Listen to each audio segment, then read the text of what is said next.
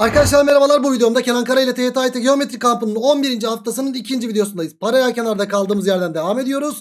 Yani kitabımızda sayfa numarası 107'nin sağ tarafını işleyeceğiz ve 108'i işleyeceğiz. Hadi bakalım dersimize başlayalım. Paralel kenarın özelliklerini yapmak istiyorsan ya da bilmek istiyorsan ya da aklında tutmak istiyorsan bir tanımı bileceksin. iki üçgen bilgileri olmazsa olmazımız zaten. E burada birinci özelliğimiz neymiş? Paralel kenarda köşegenler birbirini ortalar diyor. Doğru mu? Kesinlikle doğru. Çünkü karşılıklı kenarlar birbirine eşit mi? Eşit. Hocam kelebek çıktı burada. Kelebekteki oran birebir olduğundan bunlar da birebir oran. Burada da birebir oran olmak zorunda. O yüzden köşegenler birbirini ortalıyor dostum. Bunda bir sıkıntı yok. İspatta zaten çok kolay. Köşegenlerin birbirinin ortalaması da önemli. İkinci özelliğimiz şu. Bunu bilmek zorunda değilsin. Çünkü kendini de çıkartırsın. Bir köşegen E diğer köşegen F ise bu tabi burası E bölü 2 E bölü 2 burası da F bölü 2 F bölü 2 olur. Kenarlar da A ve B ise E kare artı F kare iki parantezinde A kare artı B karedir. Ya hocam bunu bilmeye gerek var mı? Bence gerek yok. Çünkü ya bunlardan bir tanesi eksikse ya atıyorum işte A eksikse ya da E eksikse tamam mı? A var B var F de varsa F bölü 2 de var demektir zaten. Ne yaparsın? Sen o zaman öncelikli olarak şu üçgene yoğunlaşırsın. Tamam mı? Bu üçgende şuradaki açıya bakarsın. Herhangi bir tane açıya bakarsın. Mesela şu açıya bakarsın. Hocam bu üçgende bir kosinüs teoremi yaparım. F bölü 2'ye ait. Sonra büyükte de A'ya ait bir kosinüs teoremi yaparım. Olay biter. Kosinüs teoremini sevmiyoruz ama e, böyle sıkıştığımız zaman da kullandığımız noktalarda oluyor. Yani her türlü sonuca ulaşırsın. O anlamda hiç kafanı yorma. Ya eskiden şey diyorduk mesela kenar ortay teoremini veriyorduk biliyorduk. E burada kenar ortay teoremi de bilen arkadaşlar kenar ortay teoreminin formülünü uygulayarak da yine bu sonuca ulaşabilir. Ben bununla ilgili böyle sınavda soru çıkacaksa özelliği verip de öyle soru çıkacağını inanıyorum. Ama sıkışırsak da dediğim gibi kosinüs teoremiyle de sonuca ulaşabiliriz arkadaşlar. Geldik üçüncü özelliğe. Üçüncü özellikle de ilgili geçen videoda zaten bir tane soru yapmıştık. Formüle gerek yok demiştik. Yani özelliğe gerek yok demiştik. Ama ben yine de özelliği söyleyeyim. Bir köşegeni kesip geçen bir doğru varsa ve paralel kenar uzantısında kesiyorsa köşegene kadar gelen parçanın karesi böyle öklit anımsatıyor biraz. Yani x'in karesi a çarpı tamamı. a çarpı a artı b'ye eşit diyeceğiz arkadaşlar. Şimdi sorusu da var. Biraz sonra sorusunu da göreceğiz zaten. O soruyu formülle de yapacağız. Formülsüz de yapacağız. Çünkü bunlar zaten benzerlikten çıkıyor. Bunun ispatı da benzerlikten zaten soru üzerinde de ispat yönteminden yapacağım için şu anda ispatı sana yapmayayım. Geldik dördüncü özelliğe. Bak bunu da özellik olarak bilme. Ya hocam özellikleri gösteriyorsunuz ama bilme bilme bilme diyorsunuz. Niye? Ben bu özellikleri gösterirken aslında özellik demek ya ispatı üçgenden çıkan şeylerdir. E sen burada özelliği gösteriyorum ben sana burada aslında ama aslında nasıl ispatlandığını gösteriyorum. Yani ispat yöntemini soruda nasıl kullanabileceğini gösteriyorum. Gerçekten bunlarda şuradaki şeyde ispat yöntemi çözüm yöntemi yani çoğu soruya uyarlanabildiği için yani özelliği bilmektense ispat yöntemini bilmek gerçekten daha etkili oluyor. Şimdi göreceksin. Diyor ki paralel kenarda E ve F orta noktaysa bir köşegen çizildiğinde de şöyle AK, KL ve LC birbirine eşittir. Ya da bak burada E ve F orta noktaysa köşegen çizildiğinde AK, KL, LC birbirine eşittir. Hmm, nereden geliyor? Bakalım. Arkadaşlar diğer köşegeni çizecek olursak köşegenler birbirini ortalıyor değil mi? Ki özellikle böyle kenar ortaylık falan varsa diğer köşegeni de çizin bence köşegen çizildiğinde. Çünkü köşegenler birbirini ortalıyor. Tamam ortaladı. E yukarıdaki üçgene baktığınız zaman hocam kenar ortay kenar ortay. Aa iki tane kenar ortayı kesim noktası oldu. Ne oldu o zaman? Burası ağırlık merkezi oldu. Burada 1'e 2 oran olacak. Burada da 1'e 2 oran olacak. Bak şuradaki oranlamayı da bulduk biz bu anlamda. Yani sadece burada şu özellik şunların eşit olması değil. Burada 1'e 2 oran olması da özellik olarak verilebilir ama gerek yok. Ağırlık merkezinden biz bulduk. Neyse benim işim şu an şurada. Buraya A dersen burası ne oldu? 2A oldu. E sonra ne yapacağız? Hocam Burası 3A ise burası da 3A. Alttaki üçgende de yine kenar ortay kenar ortay ağırlık merkezi oldu. 3A ise A'ya 2A diye paylaşır. Gerçekten de 2A 2A 2A şeklinde oldu. E bunun başka sorulara uyarlanışı olabilir mi hocam? Olabilir. Aynı ispatı bunun üzerinde de uygulayabilirsiniz ama ispat yöntemi de bir de alanı ben size söyleyeyim. Bununla ilgili alanla ilgili sohbetler de karşımıza çıkabilir. Mesela burada S, 3S, 2S, S, 3S, 2S var. Ya da burada Hocam S, 2S, 2S, 2S, S, 4S olayı var. Ben bunları ezbere mi söylüyorum sana? Hayır. Soruya baktığım zaman direkt oranlamaları bildiğim için alanı rahat bir şekilde dağıtabiliyorum. Oradan söylüyorum hızlı bir şekilde. Mesela burada hadi birlikte ispatlayalım şunu. Ben burada diğer köşegeni çizecek olursam köşegen çizdiğimde hocam köşegenler birbirini ortaladı. A kenar ortay kenar ortay ağırlık merkezi. Ağırlık merkezi alan ilişkisi hemen aklıma gelmeli. O zaman bir üçüncüyü de çizecek olursam hocam buradakilerin hepsi S S S S S S yapar. Aynı şekilde kenar ortay kenar ortay bir üçüncü ağırlık merkezinden geçecek olursam bu da S S S S S S yapar mı? Yapar. Bak biraz önce ne dedim sana? S, 2S, 2S, 2S, S, 4S demedim mi? Gerçekten de öyle oldu. 6S, 6S ya da şurası esken ya da şurası esken tüm alanda 12S oldu arkadaşlar. Ya bunları böyle hem alan olarak hem oran olarak ezberleyip de şurayı meşgul etmeye gerek var mı? Bence yok. İspat yöntemi çoğu soruya çok güzel bir şekilde uyarlanabiliyor. Özellikle ve özellikle şunu söyleyeyim bak ispatta da gördünüz. Kenar ortaylık olduğu zaman paralel kenarda köşegende çizilmişse diğer köşegen çizin ağırlık merkeziyle ilgili büyük ihtimalle bir işlem vardır orada. Geldik 5. özelliğe. 5. özellik işte arkadaşlar bunu bilmenizi tavsiye ederim. Çünkü ispatı biraz zor.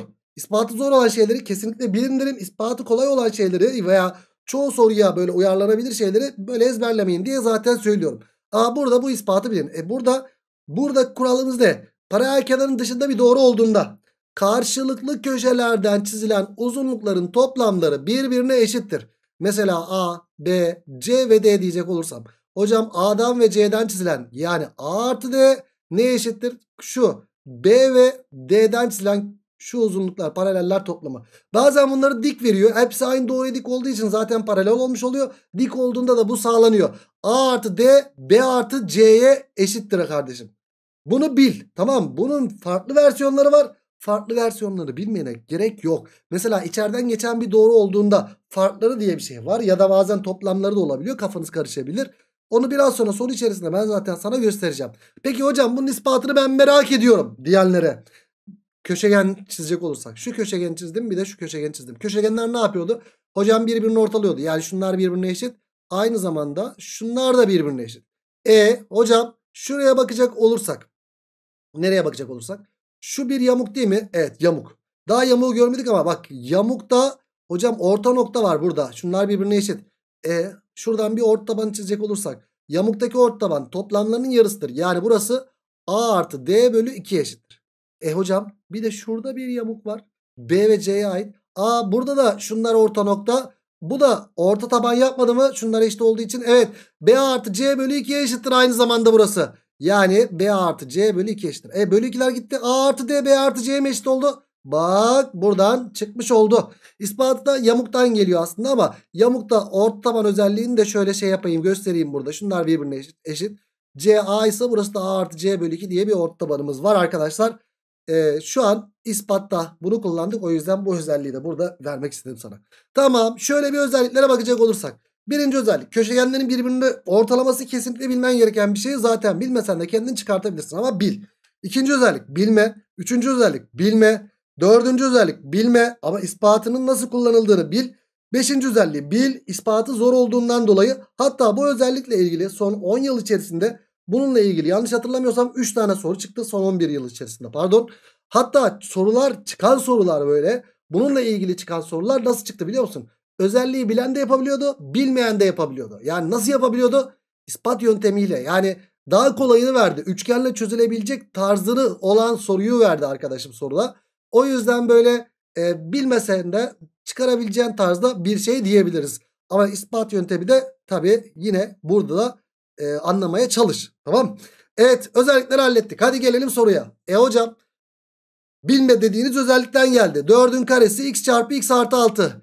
Formülden yapacaksan eğer köşegeni kesip geçen doğruda köşegene kadar olan kısmın karesi Diğerini de tekrarla. Hani şeye benziyor demiştik. Öklete benziyor demiştik. Formülden 4'ün karesi eşittir x çarpı x artı 6. Hocam x yerine 2 yazarsam 2 çarpı 8 oluyor yani. X'i böylelikle kaç buluruz? 2 buluruz. Peki formülsüz yapacak olursak hocam. E, sayılar var. Ne var burada? Hocam şurada bir kelebek var.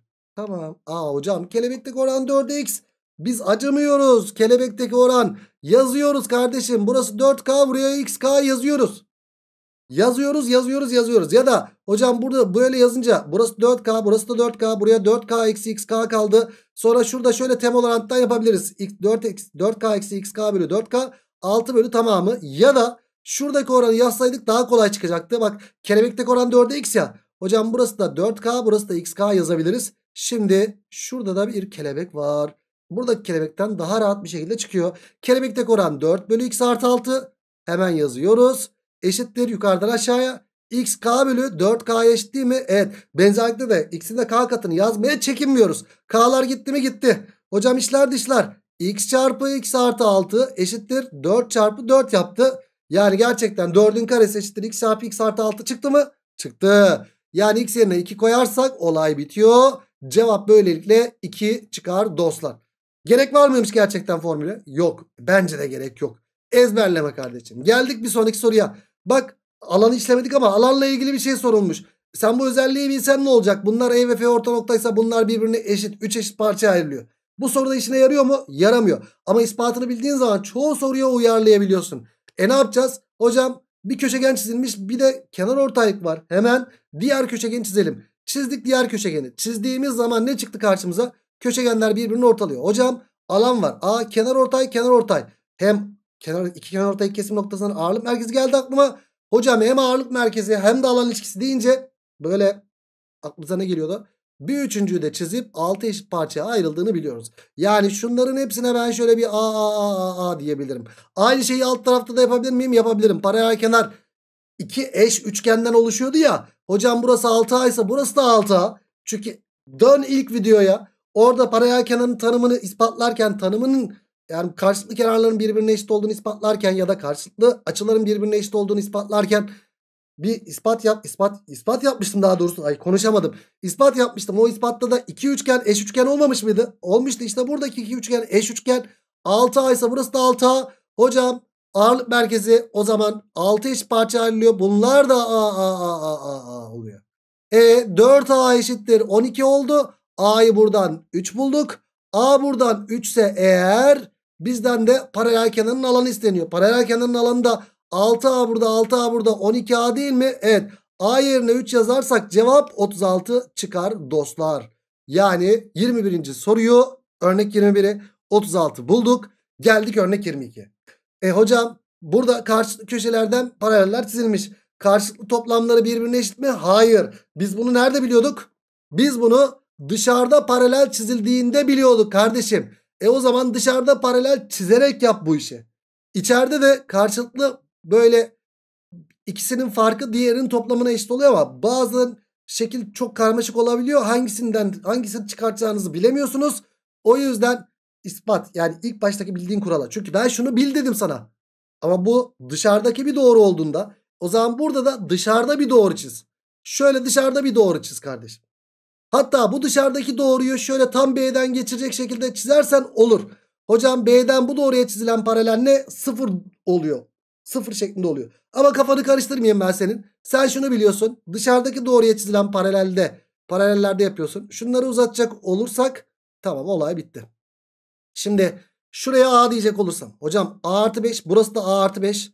Burası da A artı 5. Burası da A artı 5 değil mi? Evet. Neydi? Karşılıklı köşelerden çizilen uzunlukların paralellerin toplamları birbirine eşitti. Yani A'dan ve C'den çizilen paraleller şu dikmeler şeklinde oldu hocam bunlar. E dikmeler de zaten paraleldir birbirine aynı doğruya dik olduğu için ya da yöndeş açıdan dolayı. A'dan çizilen uzunluk A artı 9 dikkat. 4 değil. Şu siyah doğruya kadar A artı 5 ile 4'ü topluyorsun. A artı 9 artı C'den çizilen A artı 8 eşittir. Hocam D'den ve B'den çizilen D'den çizilen X artı A artı 5 X artı A artı 5 artı buradaki A'dan çizilen de A artı 5 deme lütfen. Bu B'den çizilen direkt şu uzunluk değil mi arkadaşlar? Evet yani A. E burada A'lar nanay oldu. 9 8 daha 17 yaptı. 17'den de 5 çıkınca 12 yapar. Yani x'e ne bulmuş olduk arkadaşım? 12 bulmuş olduk. Yani sen bir şey biliyorsan onu da başka sorulara uyarlamasını da öğrenmelisin. Ya özellikle bu tarz sorularda mesela ben bu soruyu soracak olsam ÖSYM'de soracak olsam öncelikle şu özelliği veririm. Bu özelliği verdikten sonra sorusunda da bunu sorarım. Ya özellikle şunu diyor dışarıdaki doğru e dışarıdaki doğru olduğu için dışarıdaki doğruyu da sen çizersin. Ona göre işlem yaparsın dostum. Tamam ki bence tam ÖSYM'lik soru oldu bu da. Çünkü son 11 yıl içerisinde 3 defa da sormuşsa ve özelliği vermeden sormuşsa e şimdi özelliği verip şu şekilde soru sormak bence gayet iyi fikir. ÖSYM yazarlarına duyurulur. Evet duyup da yazıyorlarmış falan. Ne güzel olur değil mi gençler? Evet gençler böylelikle bu kısmı bitirdik. Yani özellikler kısmını bitirdik. Sırada ne var? Paraya kenarda alan var. E o zaman bir sonraki videoda yani 11. haftanın 3. videosunda alanın ilk kısmında görüşmek dileğiyle. Kendinize iyi bakın. Hoşçakalın.